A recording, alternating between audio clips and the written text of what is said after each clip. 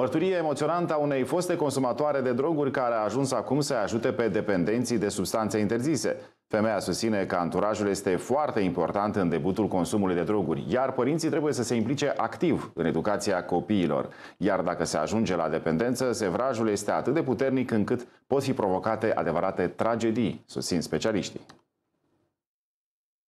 Când în grupul respectiv se consumă droguri, evident, există un risc, uh, uh, un risc mai mare ca și el să debuteze în consum, tocmai pentru a face în continuare parte din grupul respectiv. De asemenea, adolescenții pot crește în contexte în care fie, uh, pe de o parte, pot avea familii cu bani, părinți care muncesc foarte mult, dar care, din păcate, nu se implică prin timpul lor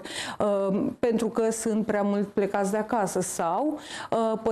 adolescenți care cresc în contexte, așa cum a fost și cazul meu în care dependența era, din păcate, o normalitate și atunci ei împrumută, conform teoriei comportamentelor învățate, ei împrumută aceste comportamente de la părinți. Pe fondul sevrajului, uh, dorința de a consuma din nou este atât de puternică încât uh, te împinge la comportamente uh, comportamente pe care în mod normal, un om normal nu le-ar avea. Uh, cum a fost și în cazul meu, eu nu am ajuns la, la acțiuni extreme și mulțumesc lui Dumnezeu pentru asta, doar la faptul că am, mi-am tâlhărit mama, am împins-o, am fost violentă verbal, dar niciodată să o agresez.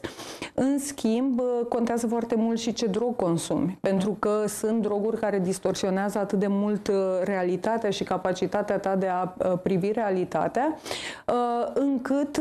te ajungi în punctul în care să comiți niște acțiuni de care într-o mare măsură nici măcar nu mai ești conștient în momentul respectiv.